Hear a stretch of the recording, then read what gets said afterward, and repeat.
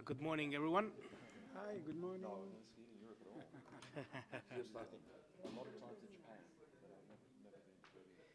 So uh, it's six minutes uh, past the hour. So I guess it would be it would be good if we could uh, begin. So I invite you to take your seats.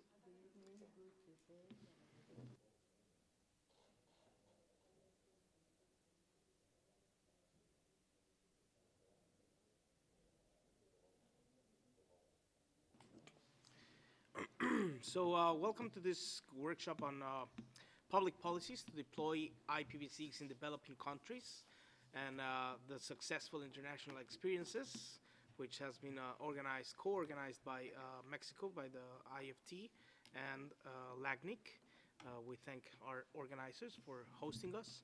And the speakers for this session will be uh, Tanya, Ta- Tanya Villa Trapala from the Telecommunications Institute in Mexico, Valentina Scialpi uh, from uh, Next Generation Internet European Commission, uh, Rosa Delgado, chair of the IPv6 Council in, uh, in Peru, uh, Paul Wilson from APNIC, Laura Kaplan from LACNIC, Carolina Aguirre from uh, uh, University of Santiago and UBA in Buenos Aires, and Rajesh Chharia, the president of the ISPAI in India and the director of the NIXI, the National Internet Exchange of India.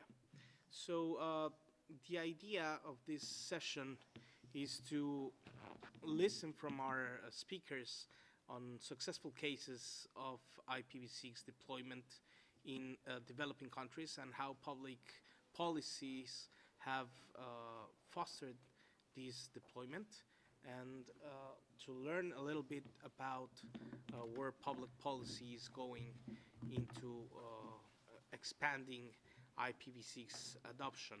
Uh, we, we will try to make this as interactive as possible. We are aware that you might have already been in too many workshops uh, so far, and uh, we don't want to make this a monologue. Instead, we want this to be a dialogue and to be constructive about it. So, uh, what we propose is that we uh, listen to our speakers in a first intervention, and uh, after that, uh, we suggest that we break up in groups to discuss four uh, main topics, uh, which I will I, I, I will uh, enumerate uh, in, as the main pillars of I, IoT development, the importance of IPv6 deployment for the proper development for IoT. These two topics will be treated in one subgroup. And then the successful experiences for IPv6 deployment and the future of IPv4 addresses that, that will be uh, dealt with in another subgroup. So uh, the objective of breaking into subgroups is, of course, to foster the discussion between uh, the audience and uh, the speakers and try to reach uh, some uh, conclusions on the discussions to then share with the wider audience and, of course, to document this output from our workshop. So uh, I would now like to uh, handle the floor to uh, Tania Villa Trapala from uh, the Telecommunications Institute in Mexico to share with us uh, her uh, thoughts on how public policies might aid to deploy IPv6. So Tania, you have the floor.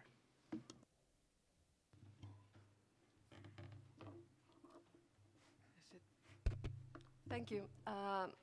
So I come from the IFT, which is a telecommunications and broadcasting uh, regulator in Mexico. And I just want to briefly talk to you about our experience with IPv6 deployment and what is happening in, in our country. So first of all, we needed to understand what was the status of IPv6 in Mexico. And uh, by the beginning of this year, we had less than 1% of IPv6 traffic in, in our country. This was a concern for us. So what we did first was to issue a questionnaire. At the, it was published at the IFT website, and we wanted to understand what were the main reasons for, for this uh, such a uh, um, 1% traffic. It's nothing. So uh, the, que- the questionnaire was intended to be fulfilled by, by the ISPs, but also by the academia, by civil organizations, and the public in general. And so to make sure that we received all answers, we made it compulsory for the ISPs to, to answer to the questionnaire. after this exercise, we were amazed at the conclusions because we often thought that the reason of not adopting IPv6 was, was some uh, technicality, like maybe uh, the lack of compatibility with IPv4 or something like this. But what we found out is that most of the time people don't know the, the advantages or the benefits of IPv6. And this uh, lack of knowledge is it's not coming from the public in general. It's coming even from the small or medium ISPs. Uh, so then, uh, from the regulation perspective, we also in Mexico have a very special case. Uh, there's one big player that has like more than 60% of the market. I'm not going to name them, but I guess you can you can guess who it is. so um, this player had not uh, connected to the IXP in Mexico. In Mexico, we have only one IXP, so we made it mandatory for this big player to connect to the IXP and also to accept IPv6 connections. Uh, this happened in July this year. In November, so last month, the IFT has published the minimum technical requirements for interconnection between telecommunication networks, and it is mandatory that within four years, all interconnections should be using IP technology, and IPv6 is mandatory.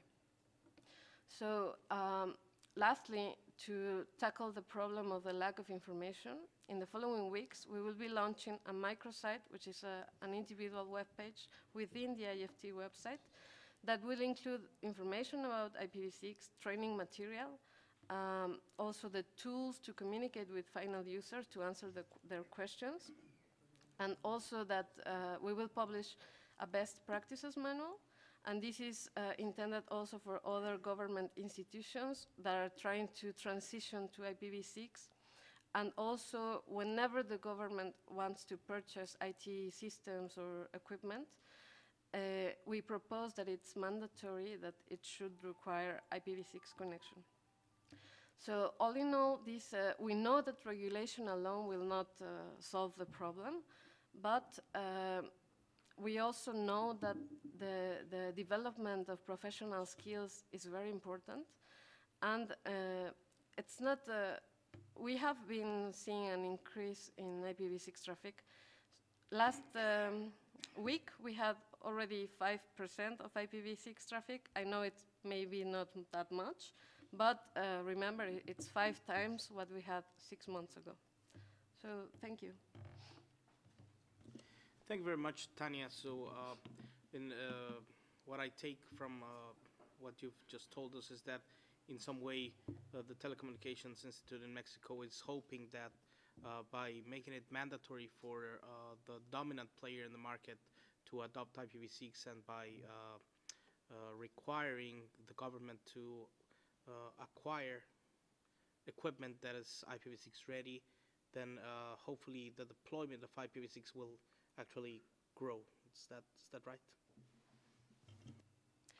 Yeah, because uh, whatever the, the biggest ISP does, it will highly reflect on the whole market because it's more than 60% of the, of the users. And uh, we think that also with this player being in the IXP, it will foster the development of more IXP networks um, points because uh, we, we talked to the people that are managing the IXP in Mexico. It's a non-profit organization.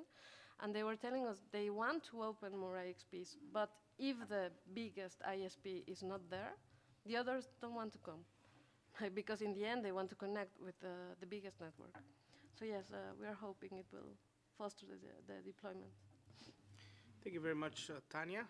I would now uh, like to give the floor to Valentina Scialpi. And uh, Valentina, the floor is yours.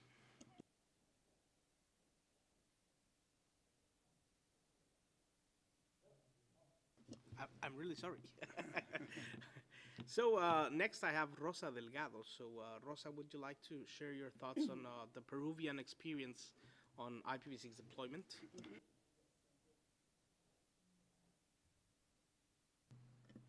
Hello. Yes. Yes, uh, well, before everything, thank you very much for the invitation, and uh, I'm really very pleased here. Um, I just uh, wanted to tell you a bit the story about Peru, because um, um, for, diff- uh, for about a year, year and a half, Peru was really the start of IPv6, and uh, I think it was something very, um, uh, very important for Peru in the case that today in the academia, in the uh, universities, in the private sector, even government people knows what is IPv6, but I think it stops about that. But at least they know, they know that probably some benefits will come with it. Uh, what happened in, in Peru it was that in uh, year 2009, Telefónica of Peru realized that they didn't have more addresses, IPv4 addresses for, for Peru by 2012. No more addresses at all. So, well, they, they were deciding what to do because they had three years to go. and at that moment, uh, Telefónica of uh, Madrid was looking for a country where to start um, a, from scratch, a country. I mean, Telefonica, the majority of uh, operators, even in 2011, 2012, um, didn't know how to move a full country, a full region into IPv6. And I think uh, Telefonica, they needed that. They need a, a test bed. Um, Peru was chosen. Uh, at that moment, um, they start to do the project, and uh, what Telefonica did, it was not to, go, not to uh, pass some users to IPv6. He passed the whole number of users of Lima. Lima was almost uh, um, for Telefonica, almost in IPv6, all, all, the, all the users of Telefonica. So what happened at that moment is that all of the people, the users, start to, to create the traffic um, in the IPv6, and everybody was saying, what happened with Peru? I mean, it was even on the fifth place in the, in the war at that time. And um, every, everybody was very surprised, including Telefonica, I must tell you.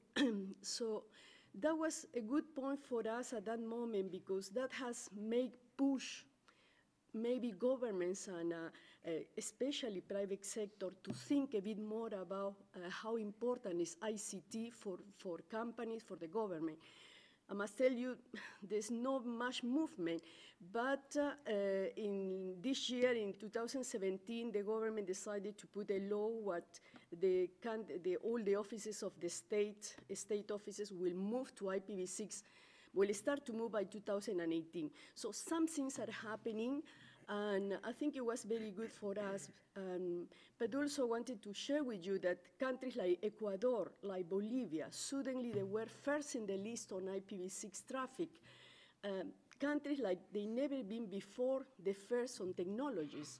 So I think it's been moving sometime in the countries in the Pacific, which more or less the, the traffic or the, the, the innovation was on the Atlantic side with Uruguay, Argentina, Brazil. This time, there was a really a shake on the Pacific, and that for me has been very, very good. But uh, anyway, uh, I think uh, we're still there. Um, what I find the problems, in, I don't know if there will, will be about the barriers, but I can tell you the barriers in Peru are, again, like in most countries, uh, capacity building. Um, we're trying to build up um, workshops, uh, events of, uh, um, but I think one of the main problems I find, at least in Peru, is that the main um, staff, the management staff in the government, in the academia, and in the private sector do not know what's IPv6 and do they know how they can really take benefit of that. And uh, I think for the moment we are trying with universities for uh, starting in 2018, start to make uh, um, workshops or even courses about top level management of private sector, academia and the state to tell them, to explain them how they can benefit from IPv6. For us, the problem is not to move anymore to IPv6. We are there, but we're not using very much. So I think that's what I wanted to share. Thank you. Thank you very much, Rosa. Uh, it's, this is a, uh, a different experience from what I've heard from Mexico. It seems to me that while Mexico is trying to uh, make mandatory deployment of IPv6, then the counterpart in Peru seems to have been adopting IPv6 uh, by the rules of the market as the main player, the mobile player, which I believe is uh, one of the uh, boosters to this end. uh, deployed or, or, or made Peru a, a pilot project for IPv6 deployment. So it's very interesting to see how uh, both uh, models uh, may play uh, differently and uh, with, of course, different challenges and different rates of success. So now I would like to handle the floor to Paul Wilson to share with us some thoughts and experiences on, on IPv6 deployment. Thank you, uh, Leon. I'm Paul Wilson from APNIC. We're the IP address registry for the Asia Pacific, so we're responsible for managing uh, IP addresses V4 and V6 around uh, that part of the world, along with um, four other regional internet registries that operate today. So we've been uh, allocating uh, V6 addresses and supporting V6 use by our members for many, many years now. And we've been talking about it for many, many years, including here in, in uh, the IGF. And I, I guess it doesn't need to be uh, argued anymore that IPv6 actually is, um, is a necessity eventually for the growth of the internet, um, whether it's the, the so-called IoT, which is actually just um, the internet, or traditional growth of the internet through the normal deployment through through cable and and mobile uh, usage. It's growing. It's growing rapidly. It'll keep on growing rapidly, um, and it'll keep going for many many years. It it really doesn't need to be argued. I hope anymore, just on the basis of the numbers that four billion addresses available in IPv4 is just simply not of not enough to allow the internet to keep growing uh, the way it was designed to be um, to be built in the in the first place. Um, if we go back a couple of years, there were genuine debates going on about whether IPv6 would succeed at all, because it really had been sort of bumping along the bottom for uh, for many years. We'd, we'd, we'd been talking about um, about IPv6 for well over a decade, and the, the deployment wasn't happening. But I'm glad to say that's, that those debates are are actually over now. Um, undoubtedly, uh, for the last couple of years, there's been a very healthy ex- exponential growth, which has brought us now to about 15% of all users in the world having IPv6 capability. So that's, that's a huge number of users um, using the internet on a daily basis, using IPv6, close to a billion uh, users. Uh, at, the, at the content end, uh, Google was one of the drivers. They've hit 20% of their traffic being delivered over IPv6, which again is a vast, a vast amount of traffic. So no one can, uh, can doubt uh, anymore that IPv6 is, is, um, is here uh, to stay um, because these these changes are very, are very rapid and they seem to be um, se they seem to be continuing. I'm uh, often asked about what is the role and the, and the future of, of IPv4 um, because of course IPv4 is all over the internet. In fact, you still these days cannot cannot connect to the internet um, in a in a full way without having access to IPv4 addresses at, from your from your endpoint because there's a lot of content and services which are available only on, on IPv4. And so the IPv4 internet is also continuing to grow because, uh, because the internet grows and, uh, and V6 is being deployed, but many providers, for all sorts of reasons, are continuing to use, to use IPv4. And the fact that the addresses are almost exhausted sort of raises the question about where the address space is coming from for, um, for fueling the, the IPv4 internet growth. And, and basically, there's, there's a, uh, a couple of sources of addresses. You either have uh, from your local internet address registry, you have availability of a very small uh, amount of IPv4 address space for, for every network that needs it. And we make that available because, as I say, V4 is still absolutely essential uh, for con connectivity to the internet. But the way that V4 address space needs to be used is through network address translation, which is the technology that allows one address to be shared by potentially thousands and thousands of, of users.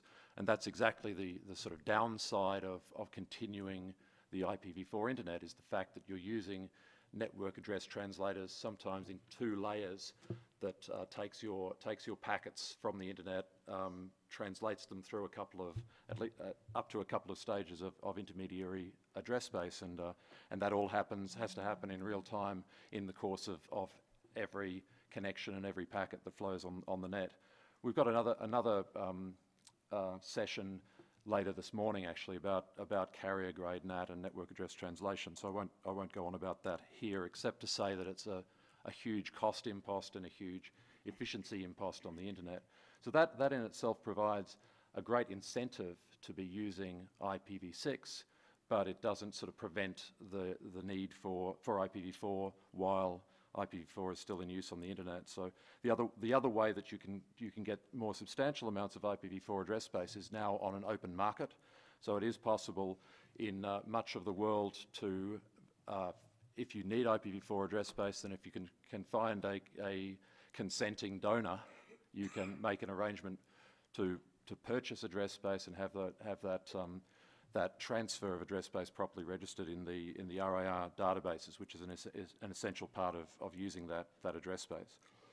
So there is a market. Uh, it's, it's not a very transparent market. It's hard to say what's going on out there, but uh, the sort of average benchmark figure as a price for an IPv4 address is about $10 per address. And that's, um, that's uh, a, actually a relatively small amount in, uh, in terms of um, the per user uh, use of that address space because uh, an ISP might actually assign that address space, that, that address permanently to a user and, and earn about $10 a month from that address, uh, as a, which against a $10 purchase price is pretty good. Or they might take that address and share it amongst thousands of users at, at effectively a cost of less than a cent per user, uh, again for a $10, a $10 um, cost. But you don't buy in individual IPv4 addresses individually, you, you buy them as an ISP or you need them as an ISP in large amount, in large blocks.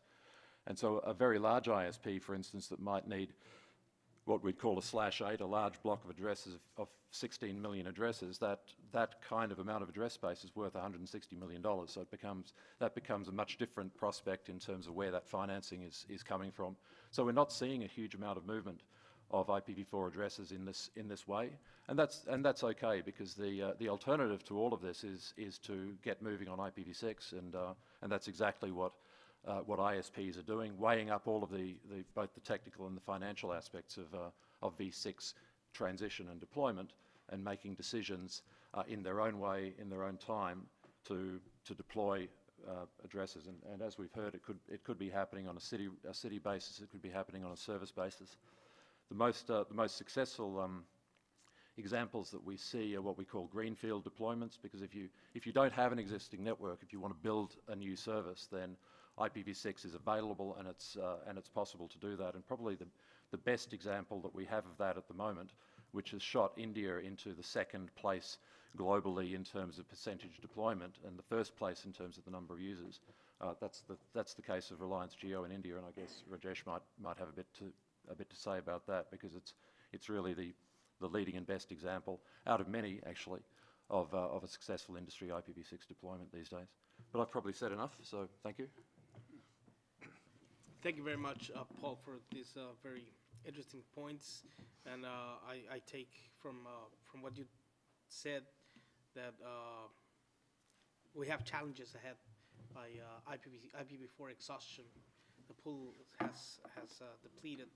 And of course, uh, the network address translation as a downside of, of, these, uh, of this exhaustion. And of course, uh, what you said, IPv6 is here to stay.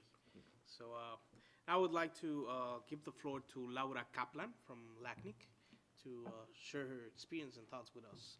So Laura, you have the floor. Thank you. Good morning, everyone. There.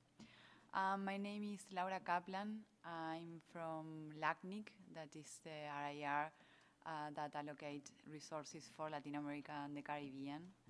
Um, I'm not going to speak about a specific case, um, and I don't want to repeat uh, what Paul just explained, that is that IPv6 is, uh, is here, is now, um, the RIRs have been working in promoting the need uh, to deploy IPv6 for the past more than 10 years. We are working in this together uh, as a group uh, promoting uh, not, not only the need, but also benefits that comes uh, uh, with the, the, the, deployment of IPv6. Um, i would like to speak a little bit about the, the role that um, the governments can have, uh, the importance of uh, pushing the, the licitation on to buy equipments uh, that are, um, are, are, available to connect uh, not only IPv4 but also IPv6. Uh, we have the danger in, the, in, our region in Latin America and the Caribbean to get uh, stuck with uh, equipment or st uh, still uh, invest in equipment that are not IPv6 ready. Um, and we are now, for our region, between 40 and 60 percent of, of, of deployment. So imagine we have uh, not only a lot more uh, to grow in, in, in which is uh, the um, connecting devices, but also more than 40 percent of our population. So the need to grow is, is, is really huge. Um, also, from uh, the RIRs, we uh, push the, um, the, um, the model of uh, mul multi-stakeholder um, way of working. So there, there is not only one uh, actor that that should uh, take care of this. We believe that there is uh, th th there is a whole um, sectors that are involved, ISPs, academy, uh, governments, uh, also the technical community. As our colleagues from Mexico and Peru, uh, we are also very engaged in capacity building. Um, um, the fact that we were promoting this for the last 10 years was not enough uh, to get uh, the message that the IPv6 is uh, the, the, transition to IPv6 is the real solution and, and is the sustainable solution. also, it's very important to um, to work with the, not, not, only the, the, the, engineers or the technical that are related uh, daily to, to this use, but also uh, the people that are taking the decisions of investment in the companies. So uh, capacity building is, is not always just to understand how to use uh, or to turn to IPv6, but also to get the people that take that decision to make the transition uh, about the benefits. Uh, and there's a lot of benefits. Uh, the, for example, the, the, the one, the, the, the, main benefit is, is that it's going to be the sustainable solution. Um, for for getting uh, for, for getting the, the, the population that is not connected uh, in internet and also to to keep um, uh, to accomplish the the use of many more uh, devices that uh, the IoT is is, is now um, in the need. Uh, so I, I, wanted to talk about um, the traceability, for example, that is also a, a benefit. Uh, is safer. Uh, you can. Um, it's, it's, easier to to to to um, follow and to sustain a, a, the the assignment of of, the, of these resources. Uh, so and the, and, and, and the thing that uh, the, the all sectors are connected and are working in the same way uh, is important to, to get all uh, on board. Uh, all the, not, not just as a country or as a government, but as, as a different multi-stakeholder group. So that's what I wanted to emphasize.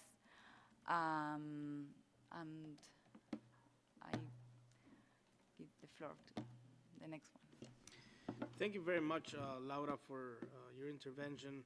What I take from it is that uh, you see uh, government, or LACNIC sees uh, government as a key player in, uh, in, in, deployment, as wide adoption by governments of IPv6 equipment could actually boost uh, IPv6 deployment, and also uh, that one incentive that uh, public policy could be looking at is that the more IPv6 we deploy, the more population that is not yet connected could have actually uh, access to the internet. Uh, I, I, would like you to expand a little bit on uh, a, a, topic that you touched, that's transferability of resources. Uh, you said that it was uh, safer. And, uh, would, would you mind expanding a little bit on this idea of why you see this as positive? Uh, as you know, the RIRs are the ones that um, are responsible for allocation of resources. So in the situation that we are having now with IPv4, um, is, is, is, is getting um, the, the, the, the bad use of IPv4 uh, is, is not the way to go. And turning to IPv6 is a more complete uh, and is a more um, uh, sustainable way to for the IRRs to really um, uh, keep um, keep the the, the, the register um, working as as it has to be. Um, and th this is, is going to uh, resolve a lot of, of problems of connectivity that we are maybe uh, reaching now. Uh, so that's why traceability is, is one of uh, BB6 uh, benefits. Thank you very much, uh, Laura, for, for expanding on that. Uh, now I would like to uh, give the floor to Carolina Aguirre uh, to share some thoughts with us on the same topic. Carolina? Thank you, Leon, and thank you, uh, thank you, the organizers. I would like to thank the organizers for setting up uh, this panel uh, and for uh, inviting me. Um, firstly, I mean, the, this, uh, this panel is about IPv6 and, and, and IoT. And um, Paul just mentioned, I mean, that uh, the uh, IoT is just the internet, and, and I totally agree. But, uh, but what we have here is uh, IoT becoming uh, a big driver. I mean, connecting objects to the internet becoming like a major driver, a major uh, incentive to deploy and develop IPv6. Um, and we've just heard uh, very interesting uh, experiences in, in different regions and, and two Latin American countries on, on the major uh, kind of incentives uh, that uh, governments uh, have learned uh, in the last years on what they need. I mean, the, the, the major incentives that they need to promote uh, in their environment in order to, for IPv6 to, to be deployed. And, and continuing with, with Laura's um, intervention, my um, intervention in, in this panel is, is briefly concentrated in, in also in looking at, at the role of governments um, in, in the expansion of, um, of IoT and IPv6 together. And one, one of the um, first uh, issues I would like to raise is um, something that has been considered uh, in, in, in the literature and, and the uh, best practices around the world recently is uh, the role that, for example, the German government took in developing the whole industrial complex around, around IO, uh, IoT and artificial intelligence with the industry, industry uh, 4.0 uh, as a major concept where all the uh, industries the, from the traditional sector are interconnected with this new um, with, with IPv6 and, and, and, the, and technologies that will uh, interconnect uh, uh, objects and promote the, the use of artificial intelligence. So here we have a, an, a very interesting role of, of governments in envisioning what kind of um, in, in promoting the vision they have for their productive sector where the uh, development of the internet and the ICTs and interconnectivity is completely related with the future uh, economic growth uh, of any country and, and their in industries, be they traditional or be they uh, coming from uh, the, the ICT sector. The other thing is uh, that we that we see is uh, that uh, governments also play a major role as uh, agenda setters. So, so if governments don't buy in and don't promote uh, the, the the relevance of of IPv6. Uh, to enable uh, IoT deployment, to enable smart cities, for example, uh, to, to enable Industry 4.0, then we, we are still lacking a, a, a very um, a, strategic actor, player in, in, in this uh, field. So, so the, the agenda setting and the role of agenda setters that, that governments uh, have uh, to play here are, are essential. And we have seen the work uh, of RIRs in the last decade um, in, in all parts of the world. I mean, pushing, I mean, uh, the, the demand. I mean, trying to generate and foster the demand for IPv6, and uh, and we are still we we still have an imbalance, regardless of the fact that that uh, those numbers are growing and that we have very interesting and, and positive experiences. There is uh, still scope for growth in in terms of uh, having a, a demand uh, and and not just being pushing the, the demand constantly, which is something that, that, that we have seen and, and that it's a, a strategic role that IRRs uh, are playing in, in this respect. Another point is governments have to be adopters themselves of this technology. I mean, there's this whole uh, thing about, oh, it's uh, the, the private sector driving it, and yes, but if the public administration is not even itself aware that uh, they have to be uh, um, the, the, flagships of, of, the, of this development, and they have to have uh, in their own public administration IPv6 already, uh, and routers are accepting IPv6 uh, traffic, etc. I mean, it's just part of the of the whole um, idea of being a, a, role model and, and uh, adopting this, this major role. And uh, the other uh, very significant roles that uh, governments have to play, uh, which um, some of my colleagues have already mentioned here, is uh, our training and, and, capacity building.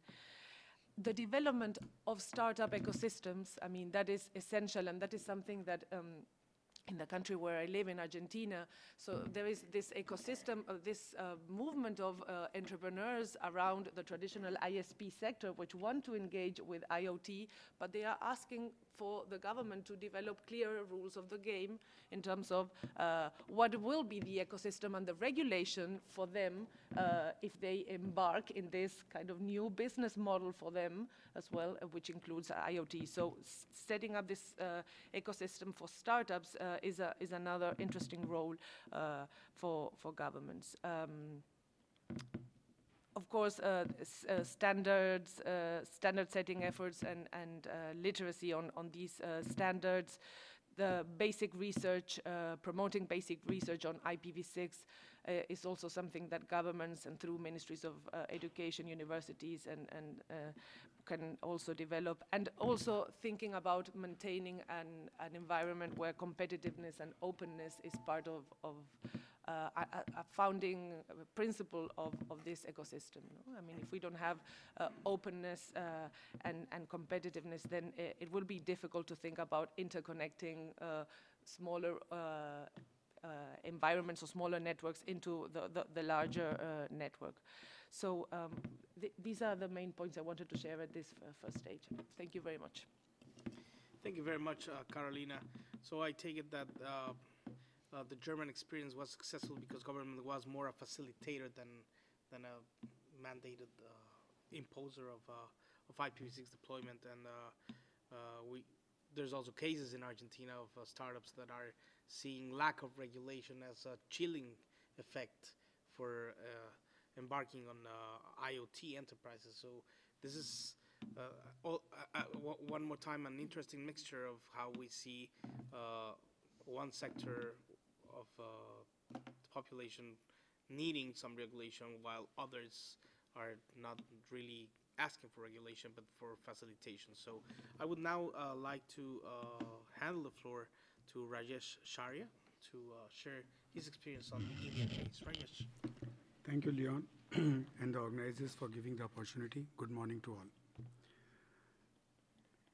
India is always the late starter in any field, but when we start, we surpass everybody. The same was into the mobile. Initially, we were struggling how to deploy the mobile, and after a few years, we have surpassed 1 billion. Now we are the second largest after China. The same is in broadband. Our target was 750 million by 2020. We have already touched 600 and 465 million till date, and we hope that 1 billion will be by 2020. The same story is with the IPv6. Initially, we were struggling how to deploy, how to put, and how to facilitate.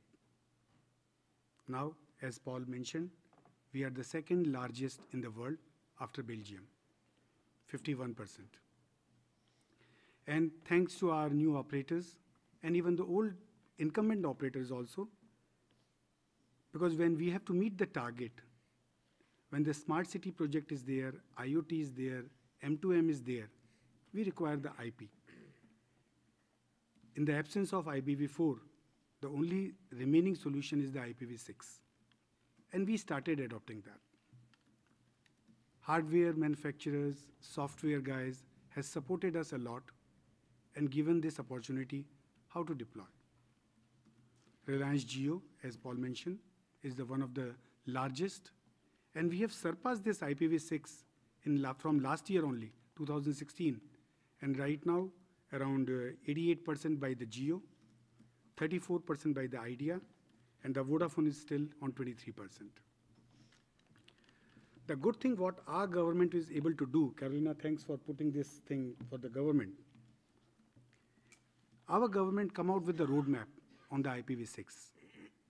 Two roadmaps has come, and they never mandated to the private sector. What they have done, they have mandated to the government department that you all department has to be IPv6 enabled by the end of 2016, but somehow they have missed that target. Now the 2017 is the final given date. And they have also requested and advised all the operators to be IPv6 enable network, whether the demand is coming from the customer side or not, but your network should be IPv6 enable. And at the same time, they have advised to the Ministry of HRD Academia to put IPv6 as their curriculum into the net, uh, study course so that the new youth who are coming for the job or for the networking engineer, they should know what is IPv6 and how to deploy that. So this helps us in capacity building also. So this multi-purpose task taken by our government and the private sector in the true multi-stakeholder approach had helped us in deploying IPv6 in a good way. In 2012, India was awarded the NIR by APNIC in the name of IRINN. And as a director of NIXI, I was there to see the best international or best practice into the NIR into the Asian Pacific region. I must thanks to Akinori-san. We visited Japan for getting experience about the NIR and he has helped us in such a way that India was able to build their own network of software of NIR successfully. And Mr. Akinori is saying, this is only due to you. You have guided us a lot. And the same was with Taiwan, Dr. Kyoi. He also arranged the visit of IPv6 lab in Taiwan, which was used in day-to-day life in 2011 I'm talking of, when the Taiwan is in 2011, we are talking of the IPv6. We learned from them also. Now the requirements are coming of the IPv6 when general public or households are requiring the IP addresses for their home devices. whether it's a air conditioner, whether it's a TV, whether it's a Uh, oven, microwave oven. Slowly, slowly, the things have coming in the right way. And I hope that after the deployment of Bharat Broadband Network Limited by our government to connect 125,000 villages with the optical fiber to provide them the broadband services at their doorstep. We hope that very soon India will be number one into the IPv6 deployment and we will be successful in our slogan of connect the unconnected. So this is the story of IPv6 in India. IPv4 necessity is very important for a network. Few years back, I think in 2008, 7, 8, a proposal has come into the APNIC from the India side for allocation, for minimizing the allocation of IPv4 so that the exhaustion should be increased for a time so that the newcomer or the startup should also get some flavor of the IPv4 because right now IPv4 what we feel is the network and IPv6 slowly slowly is going to take over this network. Thank you very much. Thank you very much, uh, Rajesh. This is uh, very refreshing, I think, because uh, you've told us that uh, an integrated ecosystem in a truly multi-stakeholder uh, way of doing things has been actually successful in achieving this rate of IPv6 deployment. And uh, we see another example of how the government, instead of mandating the private sector to deploy IPv6, they instead mandated the public sector to, to adopt IPv6. So we, we cannot deny that the governments play an important role in IPv6 deployment, but we need to, to find the formula, the right formula to have uh, a, a fruitful participation of governments rather than a, a, a- directive uh, role or a, or a steering role from from from governments. From what I've heard from uh, all uh, my colleagues here in the panel, and uh, it also alliances with external players seem to have played a very important role in the deployment. Like you mentioned, uh, uh, the alliance with uh, with Akinori and uh, and academia, uh, which seem to have brought fruits to your table. So, do, do you want to, to comment? You are right, Leon, that government has played a good role. Even the, our association ISPAI, who I am chairing, we are doing SANOG from last seven, eight years regularly every year. And the main task of doing SANOG, and now from this year onward, 2018, we are going to do the INOG, where we are going to the tier two city for the capacity building so that the youth of that tier 2 city or the rural guy should be able to learn the networking, especially the IPv6 and security, which is the necessity for the broadband penetration. Thank you very much, uh, Rajesh. So uh, I, I think that we have remote participants, and uh, I, I'm not sure if there are questions from uh, remote participants, but uh, now we would like to break into groups so we can uh, further discuss four main topics. And uh, these main topics would be the main pillars of IoT development, uh, the importance of IPv6 deployment for uh, the proper development of IoT. Uh, this will be one group. Uh, and I think that, that Carolina and uh, Laura will be uh, uh, helping us in facilitating the discussion here. And then we have the successful experiences for IPv6 deployment and the future of IPv4 addresses, which uh, I think uh, Paul could help us in uh, facilitating the discussion. And I, uh, I guess Rajesh, you would be also uh, uh, very good in, in helping us with this. And of course, uh, Tanya, if you want to, to, to add yourself to this group. But I, I remain with uh, three, uh, three questions. It seems to me that this is some kind of an egg and chicken situation because uh, you don't have uh, IPv6 deployment because uh, the providers don't seem to have the incentives to invest in IPv6 equipment because they say that they don't have the demand. So it's like we're stuck in that. And uh, I also uh, have the question about uh, is it public policy uh, to force IPv6 deployment the, the answer to, uh, to IPv6 deployment, or is it rather public policy that will create market incentives for IPv6 uh, deployment instead uh, the right path uh, to take? And I think that uh, many of these uh, issues have been uh, put in the table by our panelists. So now, uh, Kevin, uh, would you like uh, to uh, break into groups so we can discuss and uh, we could uh, discuss the topics for maybe 30 minutes and uh, after that uh, I would invite you to uh, give us your conclusions so we can share them to uh, all the groups.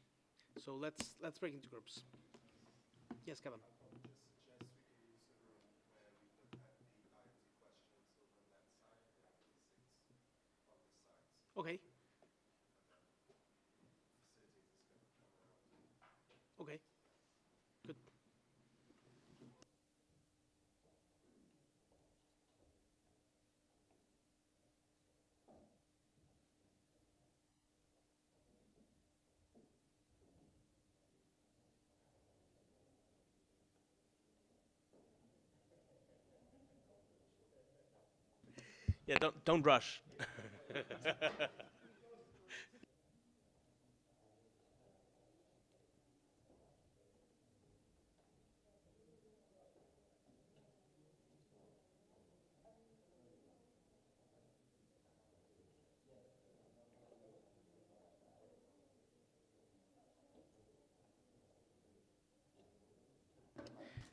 Okay, s- so we have until 10:15 to discuss, and after that we will uh, come back and share our conclusions. Hello, those those who are interested uh, in this corner, those who are interested in the V4 V6 uh, addressing issues, please uh, please relocate and join us over here. Thank you.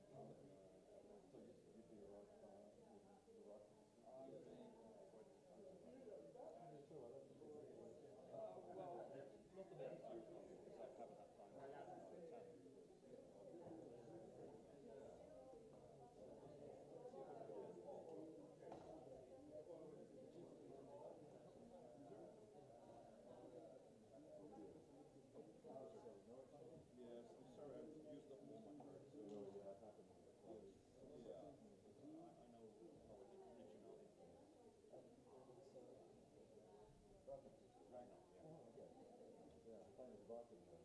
Ja? Tak, ja, no.